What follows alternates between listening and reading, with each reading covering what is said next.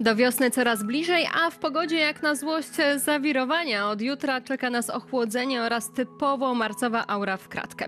Klaudia Wiśniowska, dobry wieczór. Za te zmiany odpowiedzialny jest obecnie sterujący pogodą układ niskiego ciśnienia, a wraz z nim front okluzji. Na chwilę zapomnimy o kilkunastu stopniach na termometrach.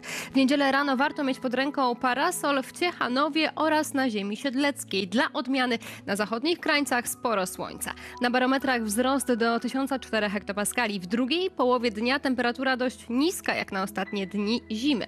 4 stopnie w Ciechanowie, 5 w Ostrołęce oraz Płocku, o stopień więcej w stolicy i w Siedlcach. Maksymalna wartość to 7 stopni w Radomiu. Po południu padać będzie tylko na północy regionu oraz w jego centrum, ale chwilami mocniej powieje. Wracają mroźne noce i poranki, a lokalnie nawet śnieg, oby do wiosny. W końcu to zaraz. Dobranoc.